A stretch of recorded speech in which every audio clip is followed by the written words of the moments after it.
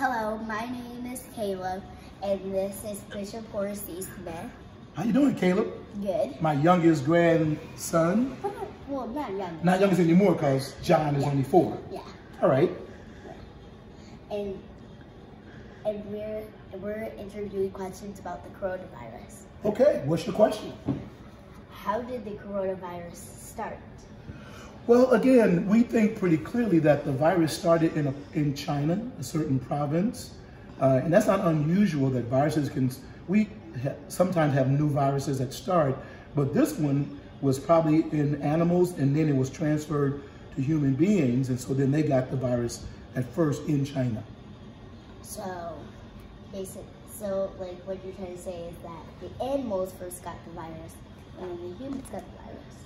That's exactly right.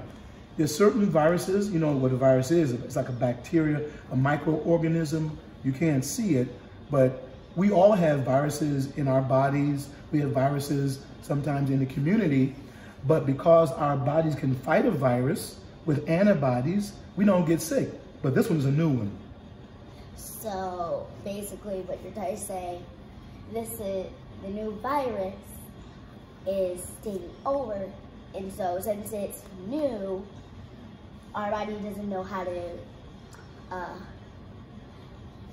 protect itself from it. It, that's it exactly. You know, this, this long word antibody means that the way God has made our bodies, that if you get exposed to something different, some kind of microorganism, your immune system can make an antibody and attack it so you don't get sick. But with a new virus, our bodies don't know how to fight it. So people get exposed to it and then they can get pretty sick.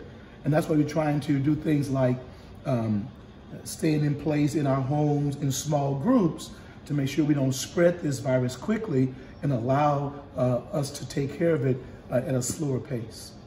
So like, so like, I heard from my mom that like, for people younger like me, it you would only get like a cold where you would probably just need to eat healthy Mhm. and stay in bed and and like when I say eat healthy, like those grapes, even though they're even though they are fake. So be nutritious. Your mother is right. You know, your mother uh, is finishing medical school, so she's pretty smart about these kind of things. But in this is a general statement that the people who are most likely to have a complication or a bad time with the virus are older people or people who have some kind of medical condition that makes their bodies weaker. Younger children tend not to get as sick, but it's always a risk, it's a very small risk that even young kids can get sick, but the risk is much, much, much lower. So I tell young kids, you know, they should practice the precautions, but not to be afraid. So like young people like me wouldn't really get that sick as people as old as you because you're like Hey, what do you mean? Because I'm 70 years old? Yeah, I have a higher risk of having a complication, but it doesn't mean that I will. It doesn't mean if you're younger that you won't. So I think the precautions are for everyone.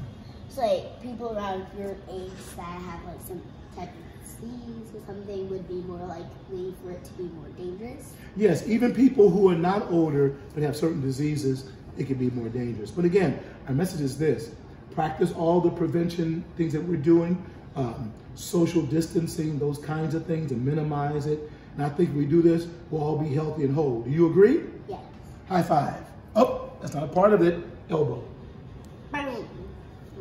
Are you signing off?